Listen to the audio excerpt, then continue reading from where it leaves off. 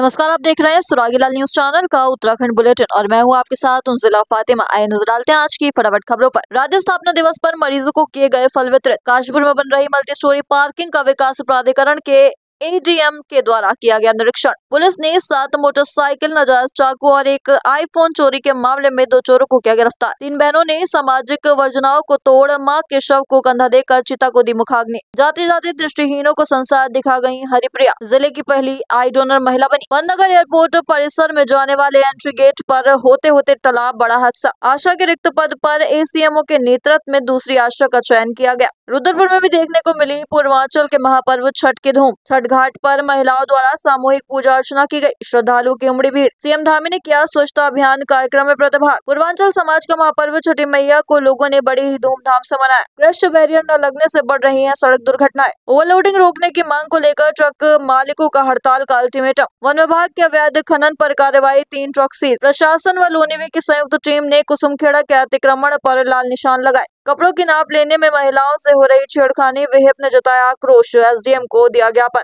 राज्य स्थापना, रजत जयंती उत्सव, वर्ष के उपलक्ष्य में नगर निगम रुद्रपुर द्वारा नगर में चलाया गया स्वच्छता ही सेवा महाअभियान अब खबरें विस्तार से। उत्तराखंड राज्य स्थापना दिवस के उपलक्ष्य में आज पूर्व विधायक हरभजन सिंह चीमा के नेतृत्व में काशीपुर के आरडी भट्टराज के उपजिला चिकित्सालय में मरीजों को फल वितरित किए गए। इस दौरान प्रेस से वार्ता करते हुए हरभजन सिंह चीमा ने कहा की उत्तराखंड राज्य बने चौबीस वर्ष हो चुके हैं। और 25 वर्ष में उत्तराखंड प्रवेश कर रहा है। उन्होंने कहा कि ये फल वितरण कार्यक्रम राज्य स्थापना दिवस के साथ साथ अल्मोड़ा में हुई बस दुर्घटना में मृत्यु हुए लोगों को श्रद्धांजलि अर्पित करने को लेकर किया गया है।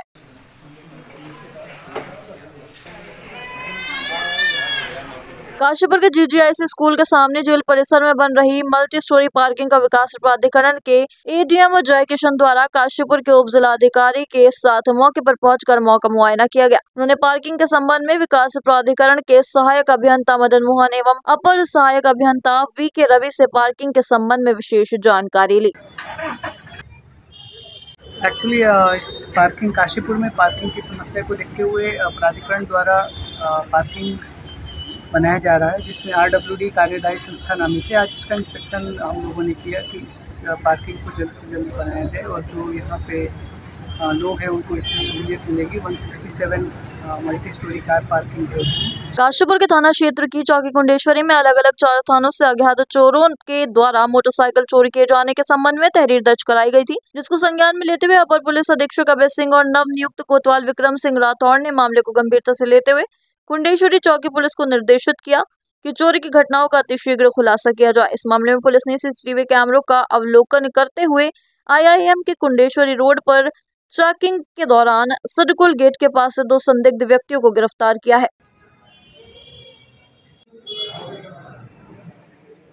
लोहाघाट के राज्य आंदोलनकारी स्वर्गीय हीरा वल्लभ गहतोड़ी, धर्मपत्नी हरिप्रिया गहतोड़ी पिछहत्तर वर्ष की आयु में अनंत ज्योति में विलीन हो गई। हरिप्रिया अपने पीछे तीन बेटियों को छोड़ गई हैं, जिनमें प्रमुख समाज सेवी एवं तिलु रुतेली पुरस्कार से सम्मानित रीता गहतोड़ी, अंजू ने माता पिता की सेवा के लिए विवाह तक नहीं किया, जबकि सबसे छोटी बेटी करुणा शिक्षिका है तथा उन्होंने भी दोनों बहनों की तरह अंतिम समय तक माँ की सेवा में लगी रही। आज भी तीनों बहनों ने सामाजिक वर्जनाओं को तोड़ते हुए माँ के शव को कंधा देकर चिता को मुखाग्नि दी। संवाददाता लक्ष्मण बिष्ट की रिपोर्ट। तिलू रोतेली पुरस्कार विजेता व सामाजिक कार्यकर्ता रीता गहतोड़ी की माता हरिप्रिया गहतोड़ी पचहत्तर वर्ष की आयु में पंच तत्वों में विलीन हो गई। संसार से विदा होते समय वे अपनी दोनों आँखें उन लोगों के लिए दान कर गईं जिनके लिए ईश्वर की सृष्टि कल्पना मात्र थी। ये ज़िले की पहली महिला थी जिनके शवदाह से पहले उनकी इच्छा अनुसार दोनों आँखें उप जिला चिकित्सालय के नेत्र सर्जन विराज राठी ने कॉर्निया आँखों को निकाला। जिन्हें रुद्रपुर से विशेष रूप से आए Maharaja Agrasen global charitable trust द्वारा संचालित मित्तल नेत्रदान केंद्र को दिया गया। संवाददाता लक्ष्मण बिष्ट की रिपोर्ट।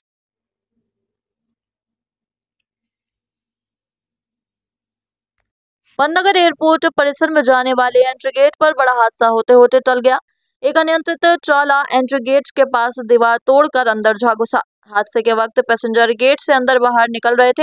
हादसे में किसी भी तरह की जनहानि नहीं हुई। थाना पुलिस ट्राले को बाहर निकालने और चालक से पूछताछ में लगी हुई है। संवाददाता दुर्गेश तिवारी की रिपोर्ट।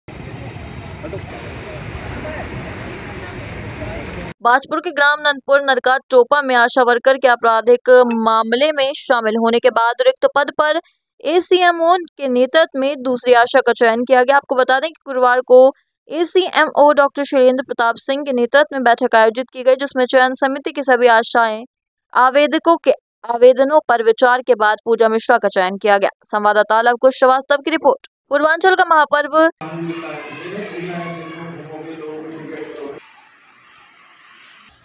पूर्वांचल का महापर्व कहा जाने वाला छठ की धूम रुद्रपुर में भी देखने को मिली। छठ पूजा के तीसरे दिन व्रतधारी महिलाओं ने डूबते हुए सूरज को अर्घ्य देकर पुत्रों और परिजनों की लंबी आयु की कामना की।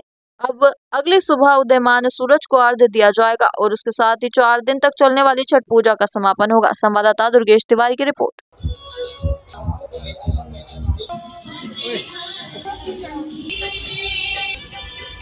खबर है जनपद उधम सिंह नगर के बाजपुर से बता दें कि कठिन साधना के महापर्व छठ पूजा पूर्वांचल महासभा के तत्वावधान में धूमधाम से मनाया गया व्रति। महिलाओं द्वारा रखे गए 36 घंटे के निर्जले व्रत के 24 घंटे पूर्व होने पर गुरुवार को कठिन साधना के महापर्व, छठ पूजा, न्यू पूर्वांचल महासभा के तत्वावधान में धूमधाम से मनाया गया। संवाददाता लव लवकुश श्रीवास्तव की रिपोर्ट।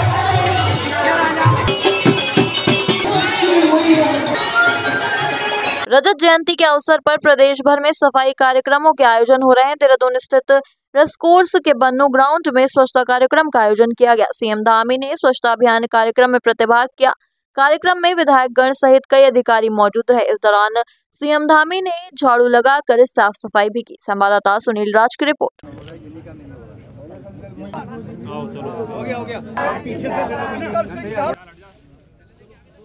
पूर्वांचल समाज का महापर्व माने जाने वाले छठ की धूम खटीमा क्षेत्र में भी देखने को मिल रही है। वहीं छठ पूजा के तीसरे दिन व्रतधारी महिलाओं ने डूबते हुए सूरज को अर्घ्य देकर अपने पुत्र और परिजनों की लंबी आयु की कामना की। वहीं आज सुबह उदयमान सूरज को अर्घ्य भी दिया। इसी क्रम में चार दिन तक चलने वाली छठ पूजा का समापन हुआ। वहीं उधम सिंह नगर में पूर्वांचल समाज के लाखों लोग निवास करते हैं। इसी कारण शहर से लेकर गाँव तक छठ पूजा का आयोजन किया गया। संवाददाता ईश्वर सिंह की report.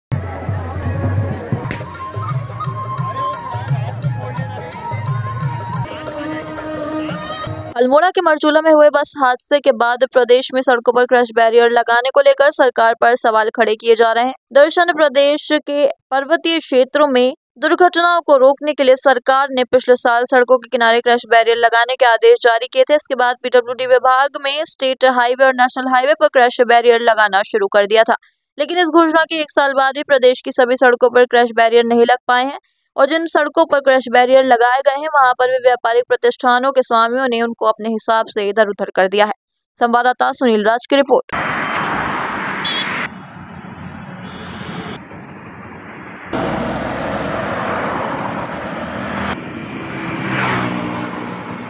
Uttarakhand Devbhoomi truck owners Mahasangh ने ओवरलोडिंग रोकने की अपनी पुरानी मांग को लेकर शासन और प्रशासन को चेतावनी दी है। महासंघ का कहना है कि प्रशासन के सहयोग के बावजूद ओवरलोडिंग पर काबू नहीं पाया जा सका जिसके कारण कई गंभीर हादसे हो रहे हैं।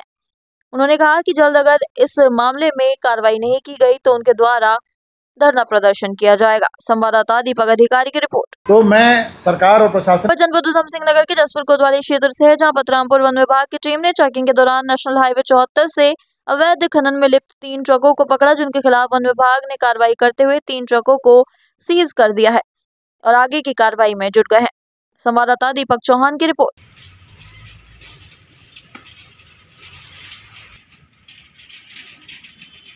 प्रशासन व लोनीवी की संयुक्त टीम ने कुसुमखेड़ा का स्थलीय निरीक्षण किया। इस अवसर पर अतिक्रमण पर लाल निशान लगाए गए।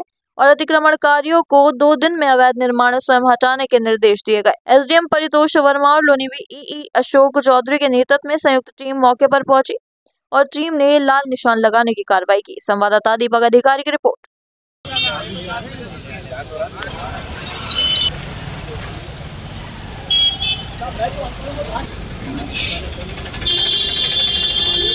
चंपावत ज़िले के लोहाघाट नगर में जगह जगह महिलाओं के कपड़े सीने के लिए जगह जगह लेडीज़ टेलर की दुकानें बाहरी लोगों के द्वारा खोली गई हैं। विप नगर अध्यक्ष अमित शाह व बजरंग दल व विहिप कार्यकर्ताओं ने आरोप लगाते हुए कहा कि लेडीज़ कपड़ा सिलाई की दुकानों में पुरुषों के द्वारा महिलाओं का नाप लिया जा रहा है और इसी बहाने छेड़खानी की जा रही है। उन्होंने कहा कि इन दुकानों पर एक महिला कर्मी का होना अति आवश्यक है। इसको लेकर उन्होंने एसडीएम लोहाघाट से मुलाकात की। संवाददाता लक्ष्मण बिष्ट की रिपोर्ट।